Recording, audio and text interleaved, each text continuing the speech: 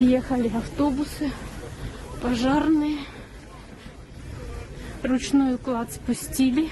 Это фрагмент видео, записанного пассажиркой рейса уральских авиалиний Airbus А320, на борту которого находилась она и еще 160 человек летел из Сочи в Омск. Самолет совершил экстренную посадку в поле в Новосибирской области России. Когда мы кружили над Омском, заподозрила, что что-то идет не так, а совсем понятно стало, когда долго и медленно двигались над водоемами. Люди тоже заподозрили. Какое-то предчувствие было у многих при вылете, посадку на борт задержали. Перед приземлением многие пассажиры громко читали молитвы своими словами, просили помочь. Когда мы приземлялись, была тряска.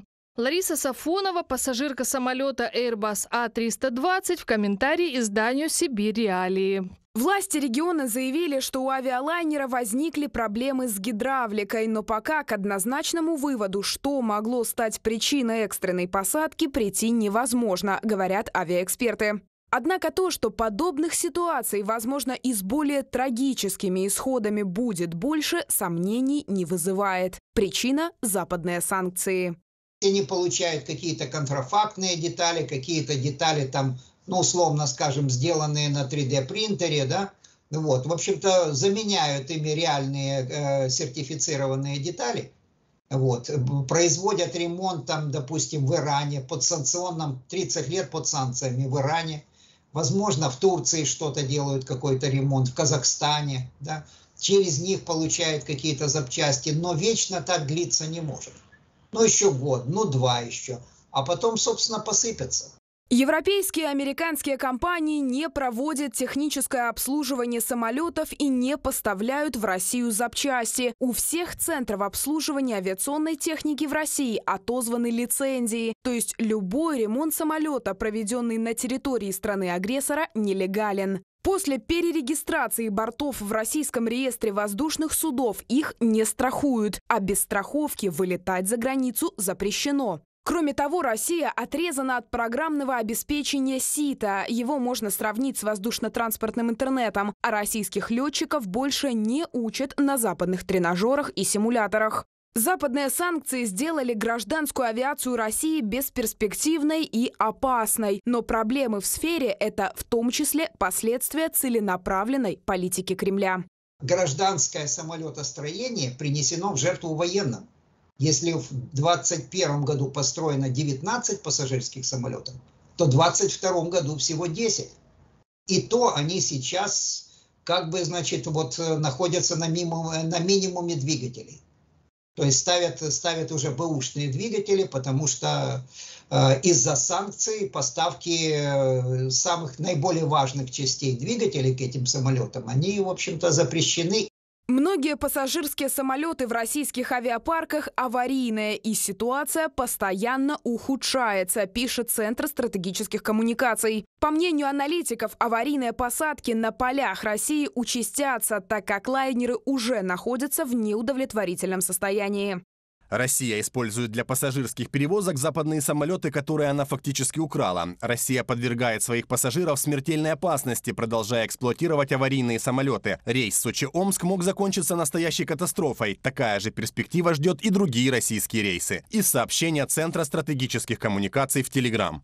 Важный элемент воздушного транспорта в России – это вертолеты. Часто только они могут попасть в труднодоступные районы страны. Однако проблем с вертолетами не меньше, чем с самолетами. В острой нехватке двигателей для винтокрылых машин признаются в российском Минпромторге. Стране-агрессору нужно больше 500 двигателей в год, а производится их около трех сотен. Причем большую их часть используют в военной авиации для продолжения агрессии против Украины, а не для гражданских нужд. Валерия Никипелова для телеканала «Фридам». Поговорим как раз, ну да, вот в нашем материале звучало о будущем российской гражданской авиации. Да, мне кажется, тут уже стоит говорить о настоящем, потому что уже есть э, прецеденты, которые заслуживают внимания, что происходит. Константин Криволап, авиационный эксперт, бывший инженер-испытатель конструкторского бюро «Антонов» с нами на связи. Мы очень рады вас видеть. Доброе утро.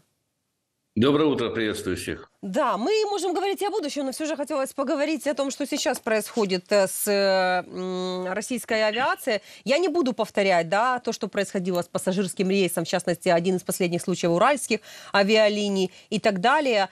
Все-таки, по вашему мнению, главная причина в том, что что-то происходит все-таки с авиацией Российской Федерации. Это в чем главная причина? В том, что все-таки санкции работают, которые, да, там против авиации нету, но есть э, против определенного э, вида э, тех же э, элементов, которые необходимы для авиации. Но вот сейчас Российская Федерация не может их приобретать в том количестве необходимом, поэтому очень э, часто те же лайнеры или Боинги ну, не могут получить той необходимой, извините, что так говорю, но медицинской помощи, в частности, в виде запчастей и так далее. Э, что же происходит? Что главная причина вот этих всех случаев, о которых говорили наши коллеги в материале? Ну, я сначала скажу, отвечу на ваш вопрос на иронию там по поводу, есть ли будущее. Будущего нет, поэтому говорить там особенно будущего. А я, вы слышали, как я сказала? Я, я же потому и сказала, наверное, нам уже стоит говорить не о будущем, а о настоящем, потому что как раз в будущем там, ну, нет смысла пока. Поэтому говорим о настоящем. Да, вам, да, продолжаем. Вот с тех пор, как Россия украла э, лизинговые самолеты, и когда э, с началом активных боевых действий начались, э, был, был просто запрет на э, передачу, продажу, транспортировку, все что угодно, связанное с запчастями, то начиная с этого момента ситуация вся начала э, резко ухудшаться. В чем, э, как бы, в чем, в чем корень? Э, есть такая международная организация обеспечения авиационной безопасности, она называется ИКАО. Это международная организация гражданской авиации. В 1944 году люди, которые понимали в авиационных перевозках, собрались там в Чикаго и решили, что дальше надо решать, как делать так, чтобы пассажирские перевозки были безопасными, как унифицировать все стандарты, все процедуры поведения э, в различных ситуациях, как расследовать летные происшествия. В общем, это такой полноценный э, задача была создать полноценную такую совокупность процедур, регламентов и всего остального, по которым весь мир будет летать безопасно. И вот Россия из этого всего пула, Советский Союз в него вошел в 70-м году, а Россия из этого пула выпала, ну вот фактически начиная там с 24 февраля прошлого года. Э, э, что что основное в этой системе? Что каждый самолет э, перед тем, как перейти в эксплуатацию, должен получить сертификат летной годности. Это э, сертификат, в котором говорится, что э, он соответствует тем параметрам, тем документам, тем, если хотите, чертежам, по которым изготавливались детали, проверялись материалы этих деталей, то есть на самолет вы не можете поставить гайку, не проведя ее сертификацию у разработчика и у производителя. Да? Вот я на, на, на чем, так сказать, акцентирую внимание. Вы не можете эту сертификацию, э, вы не можете продлить сертификат летной годности. А россияне приняли решение, что они могут продлевать по своему усмотрению эти сертификаты летной годности, и все будет хорошо. Но Э, для продления сертификата там должны становиться, устанавливаться сертифицированные детали и узлы. А на них были наложены санкции. С одной стороны, есть информация э, Reuters о том, что там за э, это время в Россию было импортировано на миллиард двести миллионов, я не, не оговорился, миллиард двести миллионов запчастей. Есть информация о том, что в мае Э, в Соединенных Штатах Америки было возбуждено дело против двух российских предпринимателей за попытки э, закупки запчастей для э, Боингов и, и, и Аэрбасов для России. Они якобы собирались это делать через Малайзию, но там разобрались специалисты в этом вопросе, поняли, что там никакой Малайзии там близко и не пахнет, поэтому э, их арестовали, и им грозит 20-летние сроки заключения. То есть э, Америка и вообще весь цивилизованный мир, который подтверждает стандарты ИКАО и живет по нормам ИКАО, э, они очень негативно относятся к подобным вещам и очень серьезно преследуют за эти вещи. В то же время есть громадное количество информации о том, что запчасти поставляются через Малайзию, через Индонезию, через Объединенные Арабские Эмираты, через Саудовскую Аравию, через Турцию. Э, но вот регламенты, которые там должны проводиться для подтверждения сертификата влетной годности, это вся ну, совокупность э, организационных и технических процедур. Вот эти вот все действия, они имеют различные сроки ну, как бы действительности, там, начиная от трех месяцев и заканчивая там годовыми. Так вот, Россия уже больше полутора лет живет вне закона. И э, поэтому эти все события, частота этих событий будет увеличиваться. И если там, помните, были события в Пулково, когда что-то не могли самолет отправить. Потом совсем недавно из э, Пхукета не могли отправить э, в Беркутск, по-моему, э, самолет компании, что-то типа Пегас или что-то такое, там, бывший Икар. Э, потому что у него вышел из строя датчик метеообстановки. Э, недавно было сообщение о том, что не могли вылететь из Шереметьево в Турцию. Туристы там страшно жаловались, как это такое, мы там билеты купили, а нам самолет не дают. А проблема была именно там по технической поломке самолета. Ну и вот это вот последнее приземление – оно мне как-то не совсем вообще понятно с точки зрения логики принятия решений и соответствующих э, и соответствующих действий пилотов и диспетчеров. Не совсем понятно, но не совсем логично. Но э, подобные события будут происходить все чаще и чаще. Они будут... Вот это для россиян закончилось э, благополучно. Потому что, понимаете, вероятность посадки самолета с выпущенным шасси на, э, ну, на поле, и э, фактически нет серьезных там разрушений, повреждений, э, возгораний, пожаров и все остальное, это, это скорее всего чудо, чем, за, чем э, закономерность. Хотя э, там руководитель этой компании, владелец этой компании что-то заявлял о том, что Э, мы, мы такие вещи можем совершать любыми нашими пилотами чуть ли не каждый день. На самом деле это удивительно, потому что, ну, представляете себе стойка шасси, которая пашет на глубине полметра, это поле, это, ну, прокидывающие моменты там сумасшедшие, неустойчивости там сумасшедшие. Там что-нибудь попало бы под колесо или куда-то еще, это было бы все, все кошмар и ужас. Это были бы обломано крыло было бы, это было бы разрушение там горизонтального оперения, скорее всего, вы, вываленные стойки шасси, ну, это должна была быть очень серьезная катастрофа. Значительно меньшее, почему я говорю, что я не совсем все понимаю в этой ситуации, значительно меньшее последствия были бы, если бы они э, плюхнулись на полосу и выкатились бы за полосу, там даже проехав там 200-300 метров по, по, по, по, по, после окончания взлетно-посадочной полосы. Поэтому ждем новостей этих, они будут ухудшаться.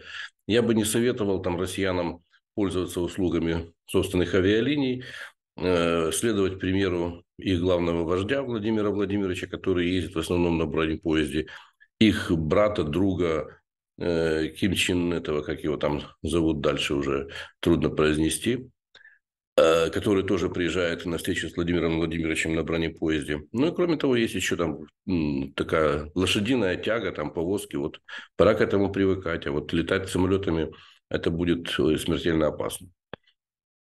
А, знаете, как сказал ваш э, коллега, э, участник Львовского оборонного кластера Кирилл Новиков, авиаэксперт, он э, в свое время Э, тоже сказал, что пассажиры в России на самом деле сегодня сами делают выбор, но они должны понимать, что авиапассажиры, он имел в виду их, это самоубийцы на сегодняшний день. Ну, потому что э, никто из них на сегодняшний день не застрахован. И из тех случаев, которые наши коллеги озвучивали и в материале, и вы сейчас, за что вам огромная благодарность, тоже некоторые из них э, вспомнили, что на самом э, деле происходит. Да-да, можем вспомнить и тот самолет, который сел в поле под Новосибирском. Там, я насколько помню, был отказ зеленой гидросистемы. Да, тоже на самом деле э, ситуация для Airbus такая себе, и также и для Боинга, поэтому прекрасно понимаем, что сейчас каждый из тех, кто готов сесть да, на, на борт, э, ну, все-таки должен понимать, что то, к чему привел Кремль и в вопросе авиации в частности, все-таки чревато серьезными последствиями, потому что, ну, сегодня сели в поле, завтра не успели сесть в поле. Ну, говорим так, как есть, потому что все прекрасно должны понимать, что все-таки состояние самолетов российских авиакомпаний на сегодняшний день, ну, достаточно такое mm-hmm. непростое и плачевное. Сакен, да, Константин, а пожалуйста. что с авиапромом? Вот интересно, э, меня всегда интересует, если за 30 лет э, после э, того, как закончился Советский Союз, они продолжают производить там ракеты, истребители, бомбардировщики, наверное, тоже делают, да? Почему они не делают гражданских самолетов? Ну, вот, скажем, технически возможно Ил сейчас сделать новый? Или ту? Ну, знаете, вообще вот я воспитан в таких традициях, что невозможного нет. Если это возможно сделать, то это возможно сделать. Но не всем. Вот им это вряд ли удастся. Почему? Потому что, ну, начнем так с бомбардировщика. Самый простой вопрос.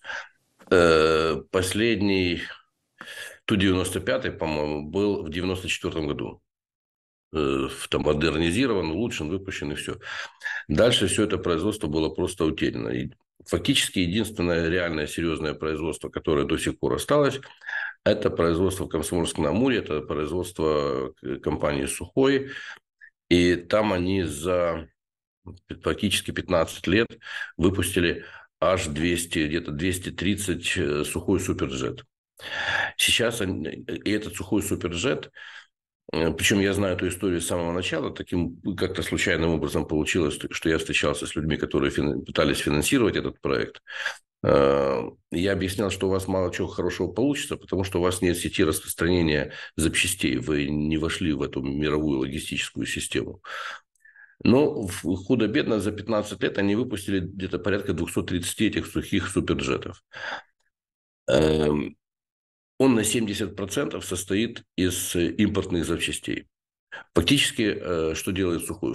Сухой э, цепляет к собственному фюзеляжу, который они собирают, это вот реально то, что делается там, к фюзеляжу и крылу, он цеплял иностранные двигатели, он цеплял все иностранное оборудование, стойки шасси там делались из многих компонентов, которые были покупными ну, некоторые, не полностью все стойки шасси, некоторые лет. Но это не имеет значения. Но их было выпущено 230 штук. Э, самолет был признан очень проблемным. У него было очень много э, различных ситуаций, неприятных происшествий, катастроф и прочее, прочее, прочее. И его где-то к 2019 году фактически его сняли с производства. Производство было закрыто. И вот сейчас они смогли его поднять пролетать на нем 40-50 минут, были страшно счастливы о том, что они вообще смогли его поднять, и что он вообще летит. Это для самих россиян, по-моему, было удивлением, для самих заводчан, по-моему, они были сами шокированы такой удалью своей, такой удачей.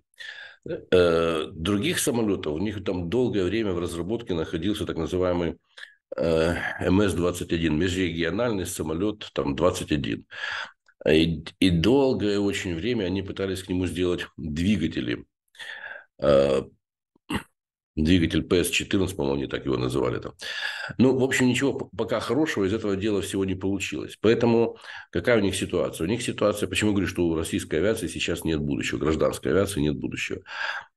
Э, потому что, с одной стороны, парк иностранных самолетов, которые они там фактически украли, он э, близится к завершению, к своему завершению жизненного цикла, потому что если его не обслуживать, если не проводить э, регламенты и все остальные виды работ, не проводить замену запчастей, а двигатели, как правило, имеют значительно меньший ресурс, там, ну, в, в, в разы в 3, 4, 5 раз меньше ресурс, чем все остальные системы, то если это все не будет ремонтироваться и заменяться, оно становится просто угрозой для окружающей среды, там, куда смотрит Greenpeace и все остальное и все остальные. Поэтому, а, а с другой стороны, у них нет производства собственных самолетов. И э, ни компании Туполева, ни компании Илюшина, те, которые там э, сверкали э, предыдущие там десятилетия, можно сказать, уже там уже скоро сто лет, они не способны, у них нет машин, которые можно делать, у них нет комплектующих для этих машин, у них нет оборудования, у них нет э, с, э, приборов э, и, и всего прочего, что есть. Я вам скажу больше, что, что сейчас российские летчики, прилетая, пилоты, прилетая на этих гражданских самолетах в какую-нибудь страну, лишенные э, авиационного свифта, так называемого, они привозят чемоданы денег для того, чтобы рассчитываться с аэропортом. То есть они, они везде как изгои. И э, самолеты у них э, не сертифицированы, не продленными сертификатами. И сами они, как дикие люди, там приезжают с этими чемоданами денег. Поэтому ничего хорошего там в ближайшее время быть не может. Может быть только плохое. Ну, жалко россиян, советую не летать. Последний вопрос такой. Э, Я неправильно сказал. Россиян мне особенно не жалко, если честно. Хотелось э, такой уточняющий вопрос. А как с гражданской авиацией в Иране? Mm. Они тоже под санкциями. 40 лет Их тоже, уже, да? да, никто никак. А, однако же, кажется, самолеты летают. И даже авиакомпания есть, Махан Эйр называется. На чем они летают? Mm. Почему у них есть самолеты? Ну, во-первых, они летают на старых самолетах, на старых модификациях. И, и, и кроме того, Иран все эти 40 лет, проживая под санкциями, очень хорошо научился с этим делом бороться завозить по различным схемам, по, э, через различные страны. Иран же не изолированная страна. Иран, э, и у него есть куча коммуникаций там с соседями и не с соседями, и э, очень много иранских специалистов училось в советских вузах, а потом в российских вузах, в украинских вузах. Это Хотя говорят, что они изолированы, не, настолько они изолированы. Наши специалисты ездили в Иран для того, чтобы там э, осуществлять ремонты, э, как они назывались, теплоэлектростанции, которые там от роторы, статоры, все это тяжелое электромашиностроение. Ездили до, до, фактически до самой войны, ездили туда в командировки, занимались этими ремонтами. Э, то есть я хочу сказать, что там такой вот изоляции, чтобы вот, вот Э, совсем там вот как палата в сумасшедшем доме, там с затворами, э, с закрытыми дверями, там такого нет. И э, какие-то какие детали они вроде бы как научились делать сами, но в основном они все покупают э, дорого, да, недорого, неудобно, но покупают.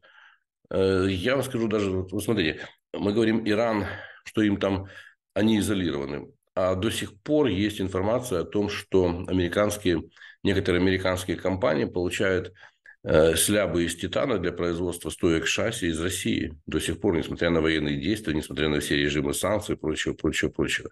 Почему не объявляется война? Потому что война, объявление войны невыгодно прежде всего там э, бизнесу. Потому что объявление войны – это как бы прекращение всех отношений. А когда у, у вас проводится специальная военная операция, то вы продолжаете там торговать со всем миром как ни в чем не бывало. Э, не надо думать, что санкции оказывают какое-то сумасшедшее влияние и давят экономику России. Этого очень бы хотелось, но, к сожалению, это не совсем так. По некоторым аспектам там достаточно все серьезно, большие проблемы, но это, это не везде так, э, так давит на Россию, как нам хотелось бы. Давать, давать себе в этом отчет. Константин, огромное вам спасибо за участие в нашем эфире. Константин Криволап, авиационный эксперт, бывший инженер-испытатель конструкторского бюро Антонов был с нами на связи.